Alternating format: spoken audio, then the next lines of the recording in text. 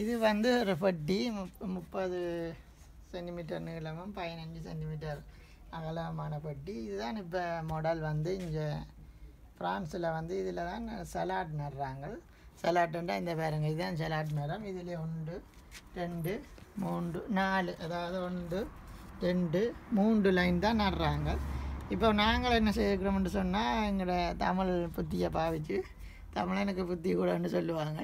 அதை பாய்ச்சி நாங்கள் என்ன செய்கிறோம்டா இது இந்த இதன் அகலம் வந்து பதினஞ்சு பதினாறு சென்டிமீட்டர் வரும். ஆகவே இந்த கத்தரிக்காய் மிளகாய் போன்ற தாவரங்கள் வந்து பெருசாக வேர் விடாது அதனால் ஒரு கத்தரிக்காயும் ஒரு மிளகாயும் வச்சுருக்கிறோம். இது கூட மிளகாய். பாருங்க நல்ல எவ்வளோ காய்ச்சிருக்குன்னு சொல்லி. அப்போ இதை நாங்கள் இங்கே வச்ச உடனே இந்த வெள்ளைக்காரர் எல்லாம் பவுடி பண்ணினவங்க கத்தரிக்காய் வந்து பெரிய இடம் வேணும். இதுக்கு முளைக்காது காய்க்காது. இது சலாட் வைக்கிற பட்டியன்னு சொல்லி. அது வெள்ளைக்காரனுக்கு எப்பயும் அறிவு குறைவு தானே அதனால் அவைகள் அந்த முறைப்படி தான் செய்வீங்க நாங்கள் வேறங்க வச்சிருக்கிறோம்.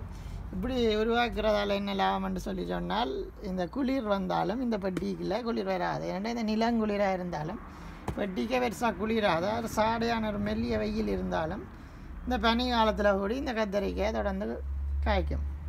அவை தொடர்ந்து இந்த தோட்டத்தை நாங்கள் செய்யலாம். ஸோ நீங்களும் இதை மாதிரி ட்ரை பண்ணி பாருங்கள் இந்த லைக் பண்ணுங்கள் கமெண்ட் பண்ணுங்கள் நன்றி.